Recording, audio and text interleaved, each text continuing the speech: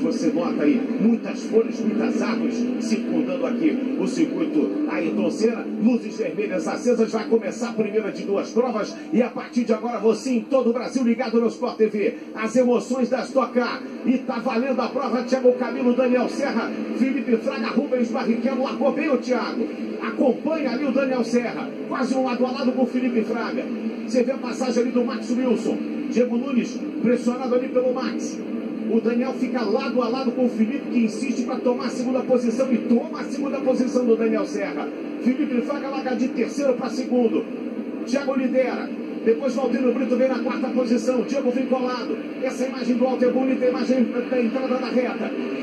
Thiago Camilo.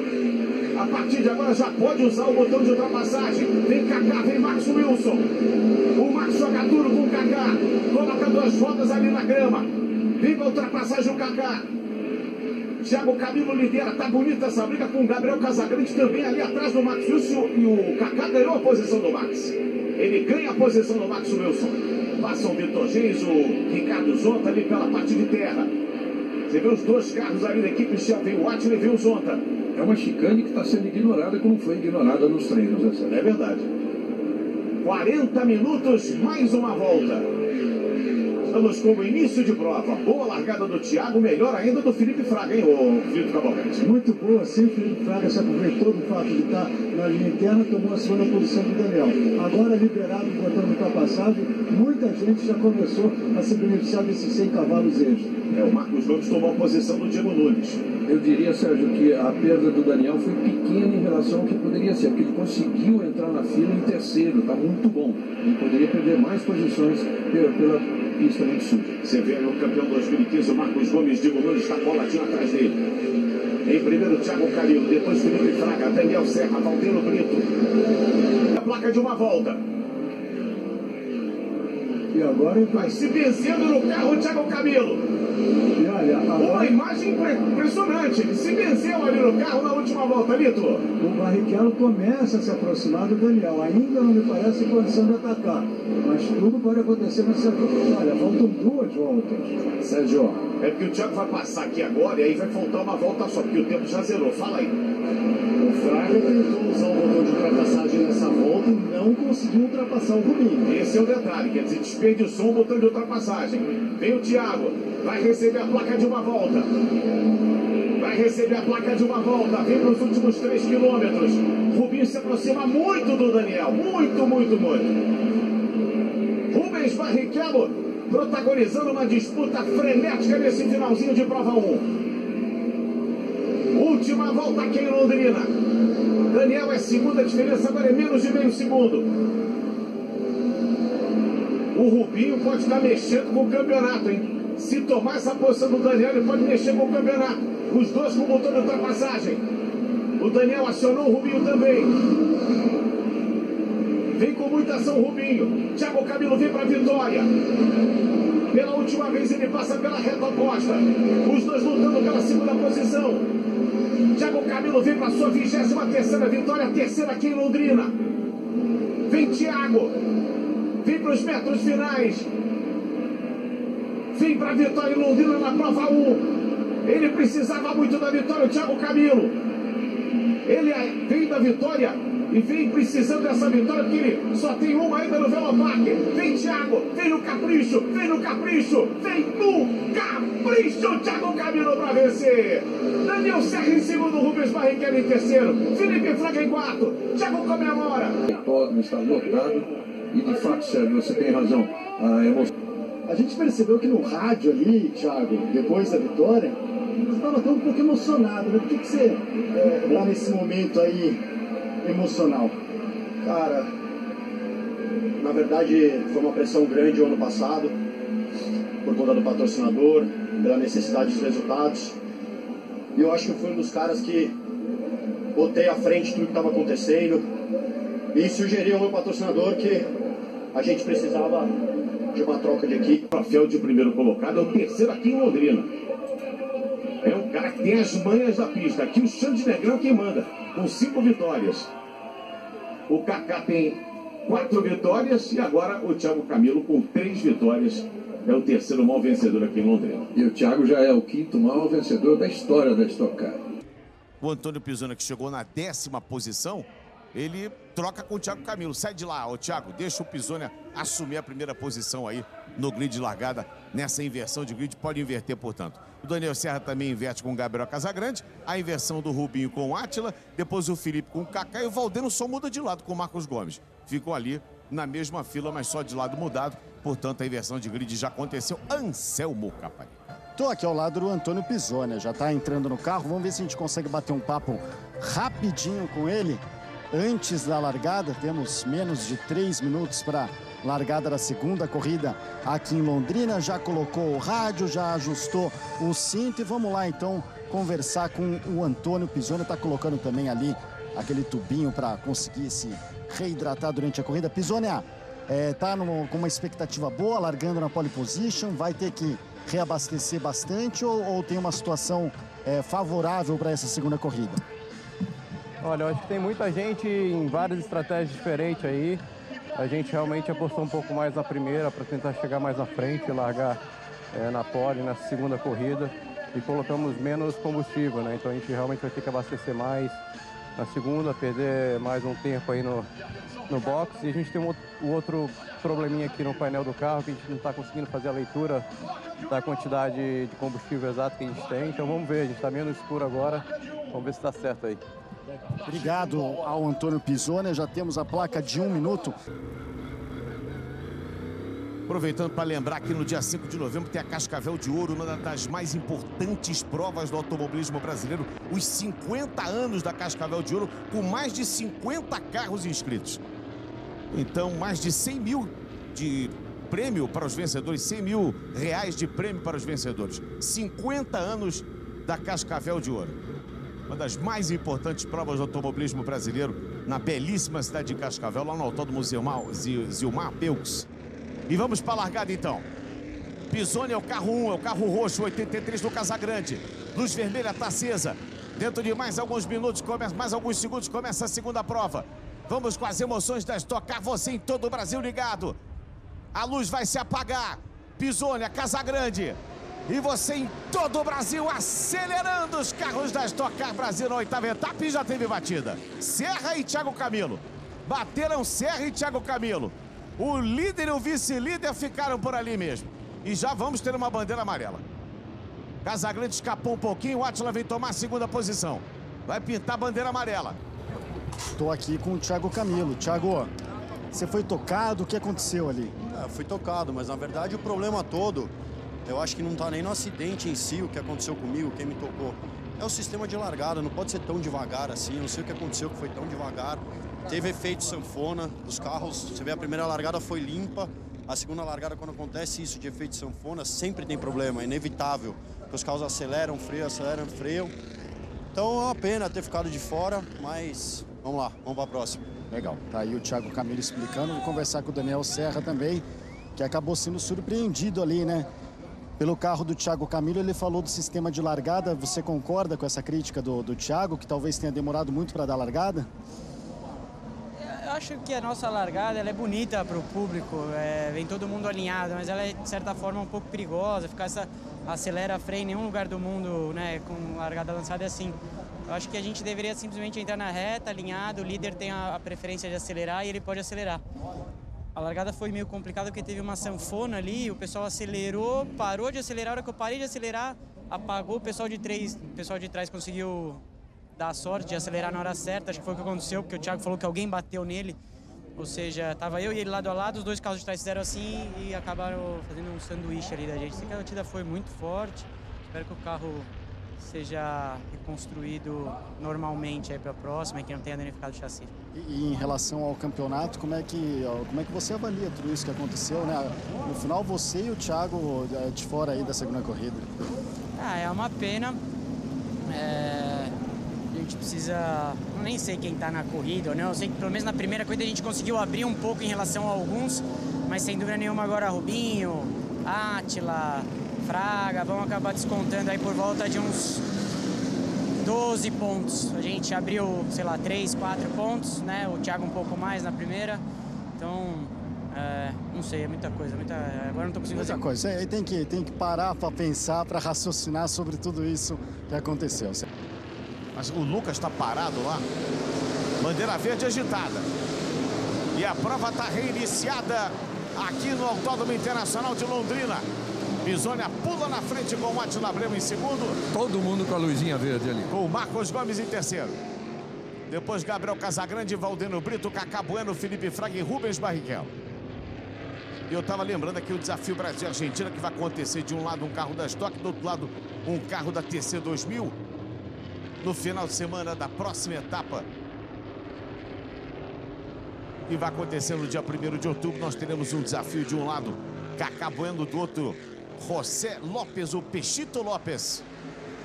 Imperdível, hein? Você vai acompanhar aqui no Sport TV. Foram quatro voltas em regime de, de carro de segurança. Isso equivale a uma economia de duas voltas de combustível. Não é muito, mas pode afetar bastante a estratégia de cada equipe. O Pisona consegue se livrar ali do Atila Abreu. Ele tem uma vantagem de sete décimos em relação ao Atila Abreu, que é o segundo colocado. Pisoni vai fazer a melhor volta na prova agora. Esta corrida 2. Ricardo Zunta vai passar pela reta, vai receber a, a placa de uma volta apenas. O Casagrande que está sossegado ali na quinta posição, ele não ataca ninguém, não é atacado também. É, mas ele poderia, se é que ele tem, né? Parece que tem, botão de ultrapassagem, poderia apertar aí para se aproximar um pouco mais desses dois. Olha o Rubinho, vem por dentro, Rubens Barrichello, no capricho, no capricho, ultrapassagem do Rubinho. Ele esperou para dar o bote no momento certo. O desgaste de pneus do Pisoni estava se pronunciando a cada volta. O Rubinho foi estudando as linhas. Na entrada da reta, coloca por dentro. Assume a terceira posição, Rubens Barrichello. É o que manobra, hein? Golpe de mestre. Para mim, foi a ultrapassagem do dia, foi essa, foi do Ultrapassagem Rubinho. do dia, ultrapassagem do dia, sem dúvida. Olha como é que ele induz ali o Pisonia, acaba errando na entrada do box. Deu uma balançada sem pneu, Antônio Pisonia. Rubinho fez ali a manobra na curva 8. Rubens Barrichello no capricho. E essa é a Babi, a esposa do Pisonia, que ficou chateada, ficou aborrecida. Com toda razão, né? Mas a gente ouviu isso, né? Sofreu demais ali com os pneus o Pisonia. Tá no honroso quarto lugar e o Zonta vem pra vitória. Zonta vem pra vitória. A equipe Shell tá comemorando. Zonta vem pra vitória. Ricardo Zonta. Ele tem vitória na prova 2 de Goiânia. Na abertura da temporada. Vem Ricardo Zonta. Vem para sua terceira vitória na estoque. Vem Zonta. Última vez que ele faz a subida ali para reta. Vem no capricho. Vem no capricho. Vem Zonta. Vem no capricho. Vem no capricho. O Ricardo Zonta no capricho para vencer a prova 2. Vitória do Paranaense. Em casa, Ricardo Zonta vence. Estou aqui ao lado do Ricardo Zonta, sua terceira vitória na Stock Car, a segunda nessa temporada. Está ficando um especialista em, em corrida número 2, ó. A gente foi prejudicado na classificação, né? O carro, o meu e do Atila, o final de semana inteiro entre os top 5 nos treinos. E na classificação eu não entrei para a segunda quali por 0,3 milésimos. Então foi muito pequena a diferença ali. Ser... E o carro era muito rápido. E largando lá atrás é difícil de, de arriscar tal. E a gente sabia que a gente tinha um ritmo para a segunda corrida melhor. Então a gente poupou aí o que tinha para a segunda corrida. Legal, obrigado. Parabéns aí ao Ricardo Zonta, vencedor da segunda corrida aqui em Londrina. O Ricardo Zonta que agora recebe o seu terceiro troféu de primeiro lugar. Terceira vitória dele. Na soma das duas corridas dessa etapa, o Marcos Gomes foi o segundo maior marcador de pontos, com 35. O Rubinho só que fez mais do que ele, 39.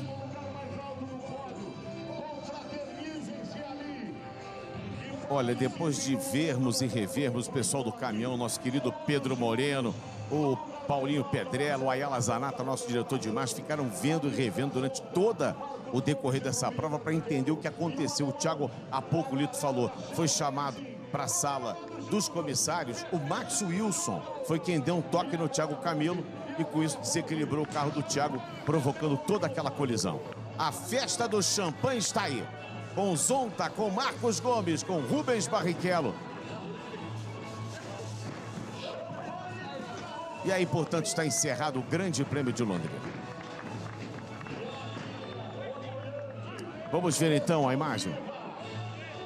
Vamos recuperar mais uma vez a imagem. Olha só, o 65 ali, ó. Ele dá um toquinho de leve. Olha como é que o carro do Thiago vem, ó. Sobe uma fumacinha branca. Foi exatamente o contato ali.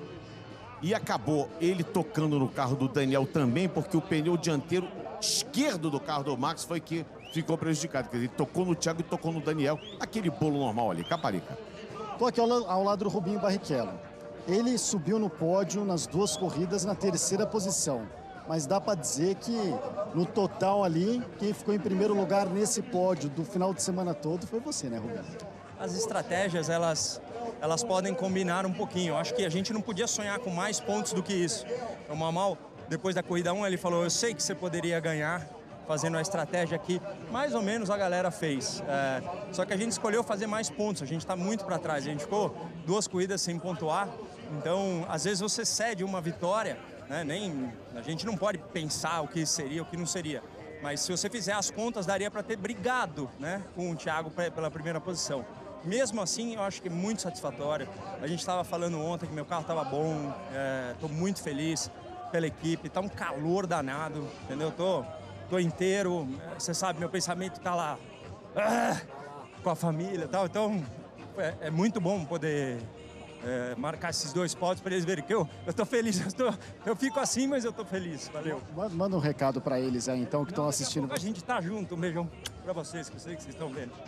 Valeu. Legal, tá aí o Rubinho aí, muito emocionado, evidentemente. A família dele já conseguiu deixar a Flórida, né, para um lugar mais seguro por causa do furacão Irma. Conversar aqui agora com o Marcos Gomes. A gente estava falando do Rubinho, né? Foi o maior pontuador com 39 pontos mas você foi o segundo maior pontuador, viu, Marquinhos? 35 pontos nesse final de semana. Ah, foi acho que um final de semana positivo. Ah, venho de dois finais de semana ah, horríveis, onde eu praticamente não marquei ponto. A corrida 1 um foi um pouco mais difícil.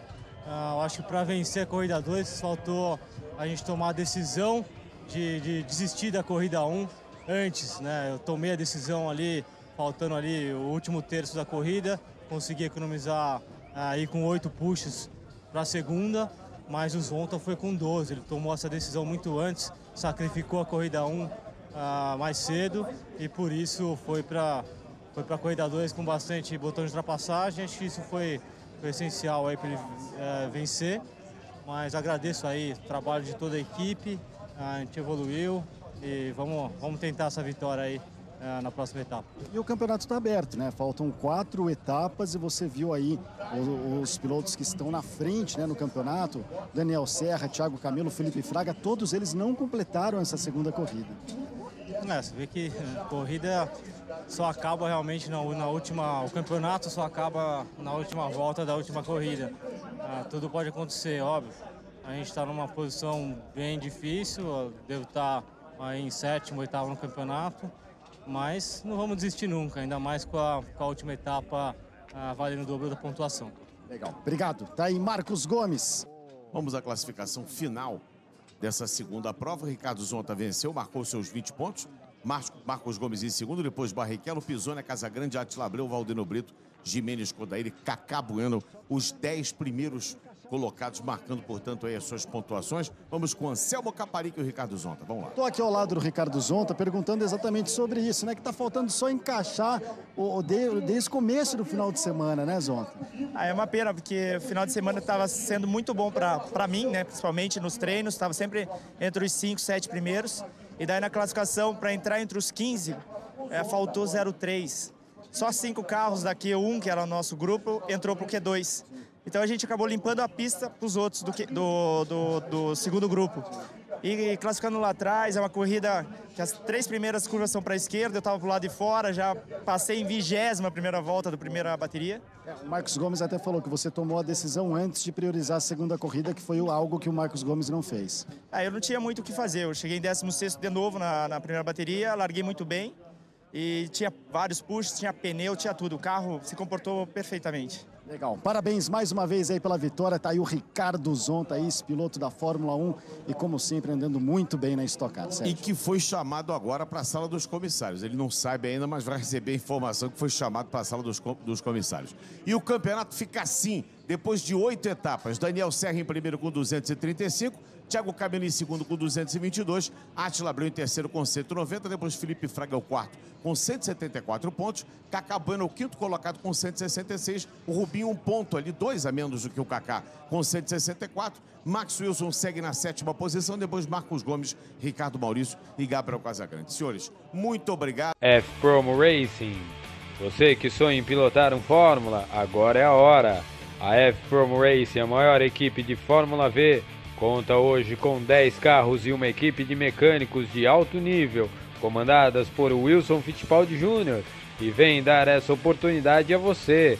Entre em contato com Flávio ou Sérgio e venha fazer parte dessa família. Sprint Race, você quer correr numa categoria nacional com equipe única, carros iguais, todos os últimos modelos, câmbio sequencial, motor V6, vem andar na Sprint Race. Entre em contato pelo site e fale com o Thiago Marques na Sprint Race.